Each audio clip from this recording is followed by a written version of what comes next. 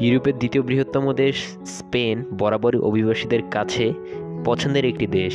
বিশেষ করে সহজ শর্তে বৈধ হওয়ার সুযোগ থাকায় দেশটিতে অভিবাসীরা সবসময় ভিড় জমিয়ে থাকে। অভিবাসীদের স্বাধীনভাবে স্পেনে প্রবেশের অনুমতি দেওয়ার ক্ষেত্রে ইউরোপিয়ান দেশগুলোর মধ্যে স্পেনই প্রথম। বর্তমানেও স্পেনে অভিবাসীদের জন্য নাগরিকত্ব আইন আরও সহজ করা হয়েছে। টানা দুই বছর স্পেনে বসবাসের ডকুমেন্টস সহ ছয় মাসের বৈধভাবে কাজ করার প্রয়োজনীয় কাগজপত্র জমা দিলেই মিলবে বৈধতা।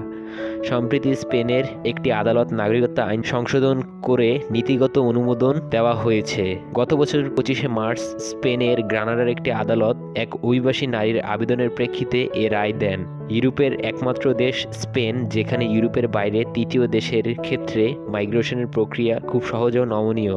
ফলে যে কেউ খুব সহজে এখানে থাকার ইচ্ছা পোষণ করলে ন্যূনতম শর্তে বসবাস করার সুযোগ পান। এখানে বিদেশিরা দশ বছর নিয়মিত থাকার পর নাগরিকত্বের জন্য আবেদন করতে পারেন এবং তিন বছর নিয়মিত থাকার পর যদি তাদের কোনো সন্তান জন্মগ্রহণ করে, তাহলে তিনি স্প্যানিশ নাগরিকত্ব লাভ করবে।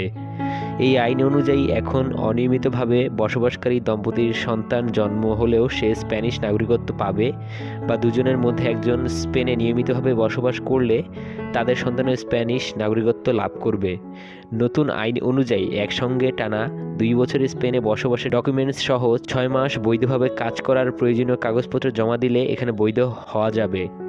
এর জন্য কোনো কোম্পানি বা শপের অনুমতি পেপারও লাগবে না, যা আগে প্রযোজ্য ছিল। তো এই ছিল ভিডিওটি। কোনো প্রশ্ন থাকলে অবশ্যই কমেন্ট করে জানাবেন। ধন্যবাদ।